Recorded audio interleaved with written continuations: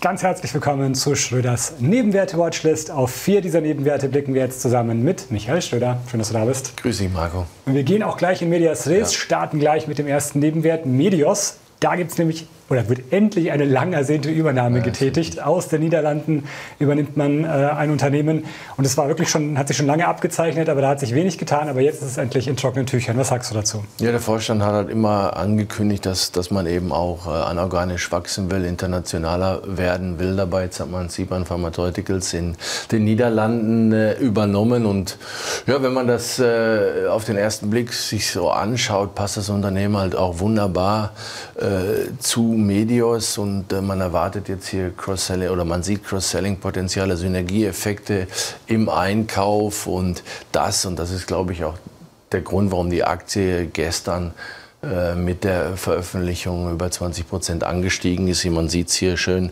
in dem Dreijahreschart. Klar, der eine oder andere können wir vielleicht gleich loswerden. Haben gesagt, wir haben über dieses Thema vor anderthalb Jahren auch schon thematisiert und die positiven Aussichten dargestellt. Ja, aber der Deal kam nicht und man sieht, was passiert ist. Die Aktie ist äh, ja in einen Abwärtstrend und jetzt die letzten Monate seitwärts gelaufen. Aber jetzt, wie gesagt, das kommt Comeback und äh, was wollte ich jetzt sagen? Ich wollte auf die EBITDA-Marge zu sprechen kommen, die ja auch bei Medius traditionell recht überschaubar war. Die bereinigte EBITDA-Marge letztes Jahr dreieinhalb Prozent. Aber durch die Übernahme, eben weil die Niederländer eine recht hohe Marge haben und eben jetzt auch die Synergieeffekte zum Tragen kommen, äh, gibt es die Prognose für 4,3 Prozent bereinigte EBITDA-Marge fürs laufende Jahr. Nächstes Jahr, äh, die mittelfristigen Ziele werden vermutlich im nächsten Jahr erreicht, sprich eine Marge von äh, über 5 Prozent. Und äh, das bedeutet am Ende, dass jetzt nicht nur die Cashflows sprudeln, sondern dass eben auch äh, unterm Strich ordentlich Feuer im Ofen gemacht wird. Und äh, deswegen der gestrige Kurssprung und äh, wir werden das jetzt versuchen hier weiter äh, im Auge zu behalten.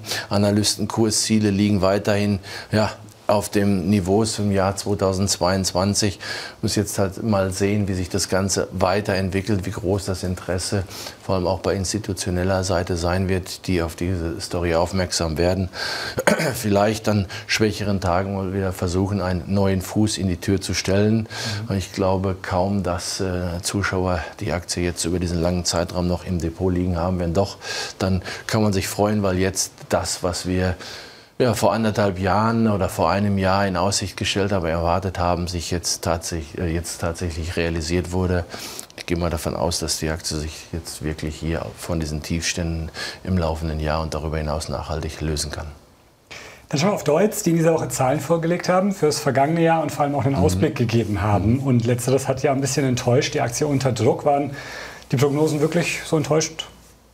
Ja, ich persönlich fand sie nicht enttäuschend. Das Unternehmen selber, und dann äh, kommen wir gleich noch darauf zu sprechen, gestern auch äh, ein Telefonat mit dem Unternehmen fand den Ausblick auch nicht enttäuschend, äh, von Analystenseite auch nicht. Man hat es heute gesehen, Warburg Research ist von 8,70 Euro beim Ziel auf über 10 Euro gegangen. Hauke das Ziel von über 10 Euro bestätigt. Aber du hast es gesagt, gestern dann plötzlich Druck auf der Aktie, die äh, in den ersten Stunden im Handel noch über 6 Euro notiert. Man sieht sie hier knapp im Bereich 6 Euro. Dann kam aber ja, roundabout 20 Prozent Rücksetzer innerhalb von 20 Minuten.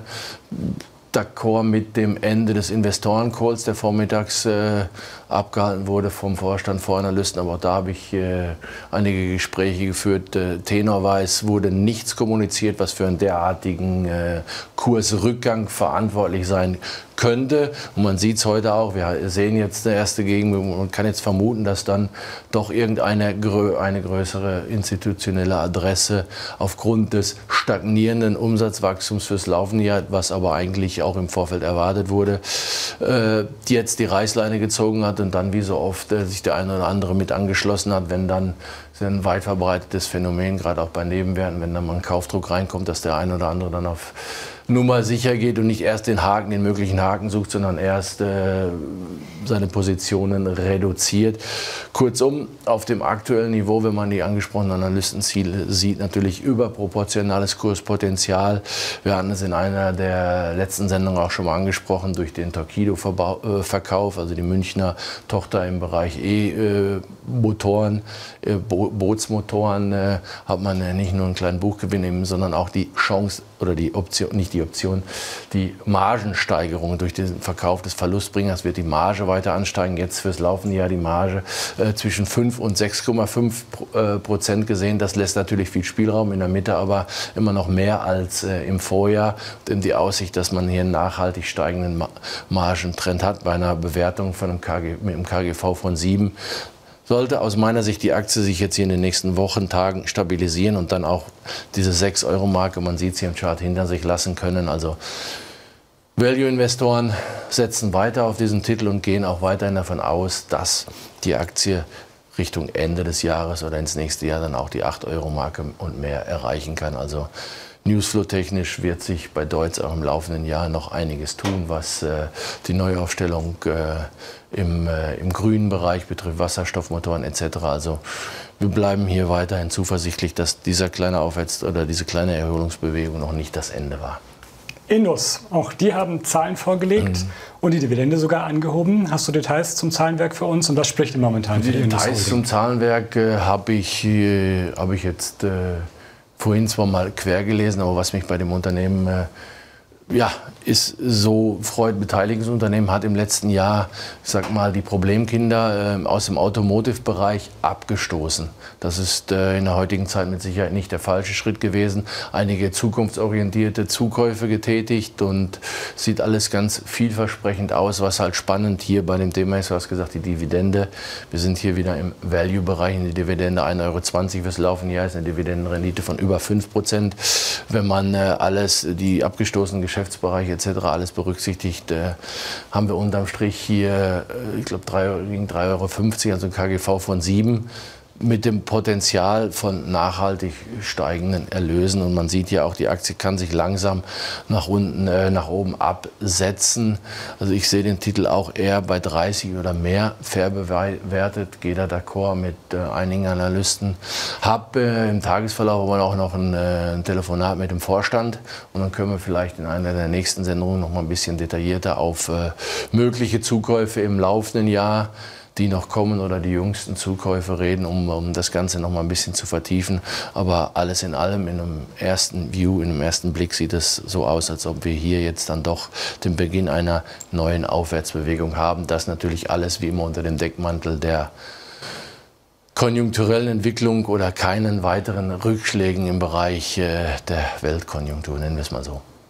Dann sprechen wir zu, zu guter Letzt noch über Warta. Mhm. Hast ja immer dann mit dabei, wenn es wirklich mal was Neues gibt. Mhm.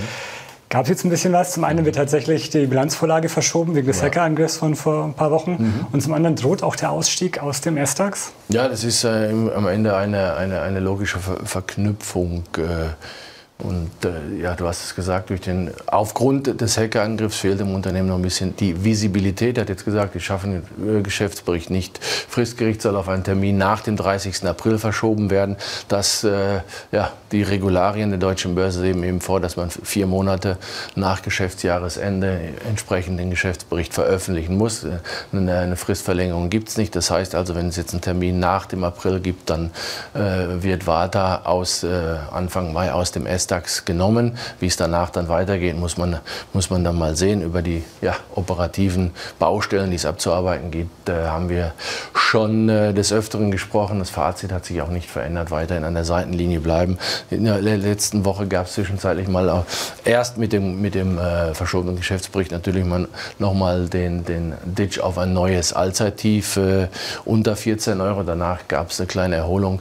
Mal äh, gesagt, das hängt ein bisschen damit zusammen, dass, äh, ich glaube, Bärenberg war es, die, die diese Thematik äh, auch mit dem äh, möglichen S-Abstieg äh, zusammengeschrieben haben. Aber ihr Kursziel, da gab es jetzt natürlich auch noch keinen Grund, das zu verändern. Bei 22 Euro die Empfehlung halten gelassen haben. Und dann wird möglicherweise der eine oder andere mal geschaut haben, 14 und 22. Aber wie gesagt, wir bleiben hier an der Seitenlinie und warten jetzt erstmal die nächsten Zahlen und äh, Details zur operativen Entwicklung ab. Und, und es gibt noch keinen neuen Termin für die Veröffentlichung? Im Moment noch nicht. Auch die Hauptversammlung äh, wurde erstmal bis auf weiteres verschoben.